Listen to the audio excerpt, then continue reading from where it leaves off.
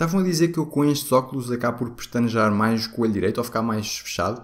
Isso é mesmo assim? Eu confesso que não apercebo.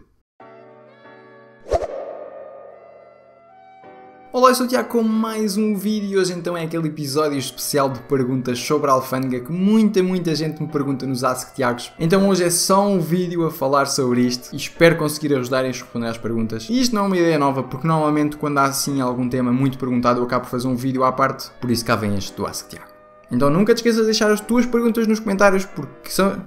Ah, uma mensagem. Porque és tu que me dizes aquilo que queres ver e eu trago. Bom, então a primeira é do Pedro Mock. Tiago, se os Blue Dew T4S ficarem na alfândega, tem que abrir ticket para a Gearbest devolver as taxas? Bem, realmente aquilo que eu te disse naquele grupo que temos no Facebook é que a informação que me deram era de que havia alguns métodos de envio que eles iam devolver parte do dinheiro das taxas da alfândega, mas eu sinceramente não sei como é que isso processa, portanto eu simplesmente pus lá essa informação. Creio que nunca a disse aqui em vídeo, exatamente porque não me deram grandes detalhes, então eu continuo a dar preferência ao método Priority Line e aos outros métodos todos que não param na alfândega com certeza em vez de estar aí por estes caminhos e não sei como é que isto se processa. Portanto, sim, a resposta é manda ticket, faz perguntas, diz aquilo que tu viste, que eles iam devolver as taxas e tudo mais, mas não sei ao certo como é que o processo se processa.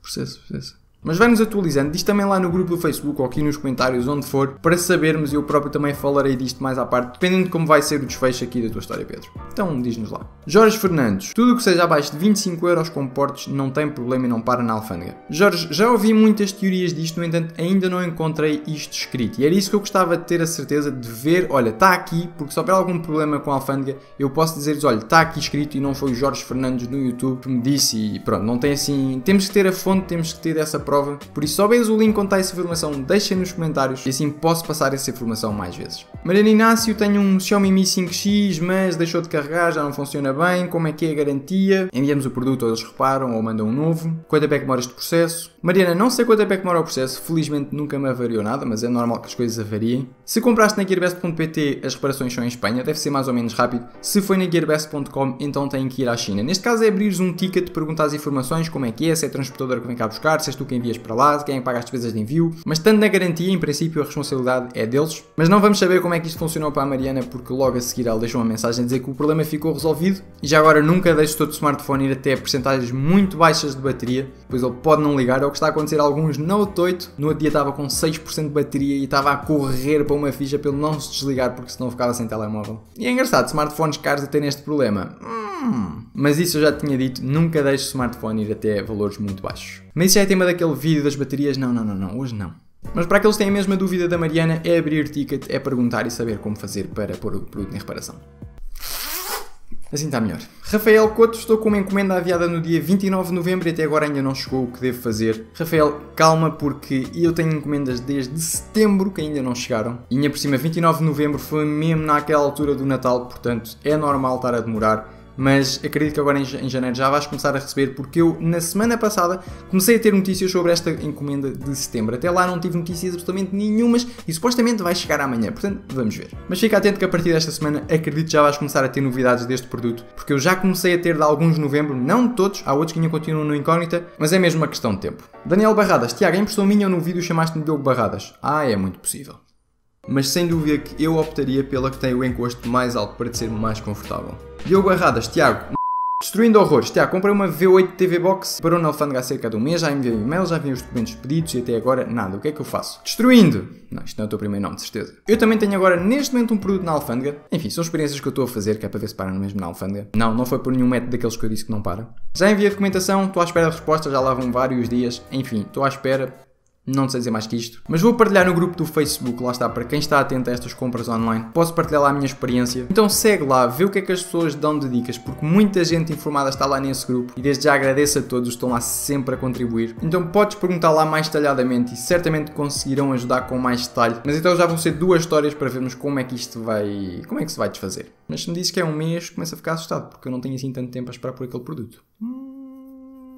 Dylan J. Porquê que o Gear Track não está a dizer onde está a encomenda? Não sei, estou com esse problema com imensas encomendas. Claro, com 90% das encomendas que eu fiz agora, não tenho informação rigorosamente nenhuma. Só aquela de há dois meses é que está a chegar. Desde a semana passada é que está a ter informações. E mesmo assim é tipo quinta-feira, só quinta-feira é que teve informações e sexta e sábado. Não sei, mas pelo menos não estava perdida, simplesmente não tinha informação e já está a chegar. Acho eu. Se chegar, vais ver o vídeo brevemente. Pronto. E eu depois digo-te que era aquele produto. Delmar Sábio, olá Tiago, podias dizer como funcionam as garantias da GearBest caso tenhamos algum problema com o produto? Temos que enviar de volta por correio, são arranjados em Portugal. Então é exatamente aquilo que eu já disse, se for comprado na GearBest de Portugal as reparações são em Espanha, se for na GearBest.com é na China, abre o ticket eles vão-te dizer como é que has de fazer. Mas sim, imagino que tenhas que enviar o produto. A não ser que eles digam que não. Se for um PC como estás a perguntar, pronto, imagino que não seja muito diferente.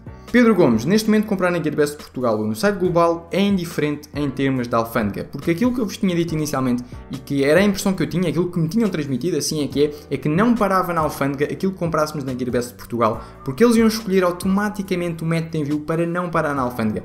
Aparentemente isso já não acontece, várias pessoas dizem que já foram taxadas que o produto ficou na alfândega, porquê? Porque o método claro que aparece já não é só aquele que não para na alfândega. Então antes de comprares alguma coisa na Gearbest de Portugal, garante que é o método que não para na alfândega, como já te expliquei naquele vídeo, não quero agora estar a repetir-me, portanto esse vídeo serve tanto para as compras na Gearbest de Portugal como na gearbest.com. Mas na Gearbest de Portugal tens 2 anos de garantia e reparações em Espanha.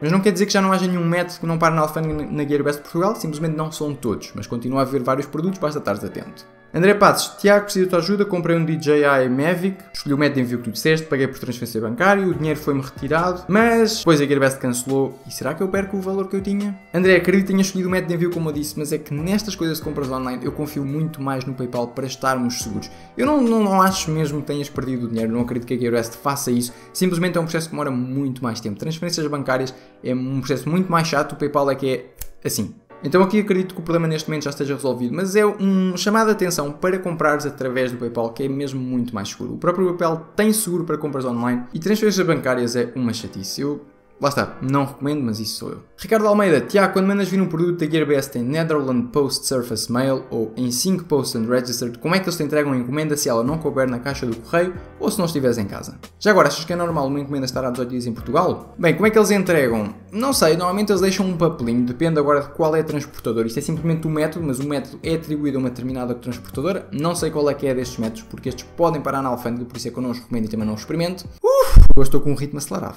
Mas não estou nada preocupado, se não couber na caixa, deixo um papelinho ou toco a campainha, enfim, faço imensas coisas. Essa não é a minha preocupação, é mesmo a alfândega. Se é normal estar há 18 dias em Portugal, ai é, é, é. Com feriados, com greves, com etc. Ui, então não é.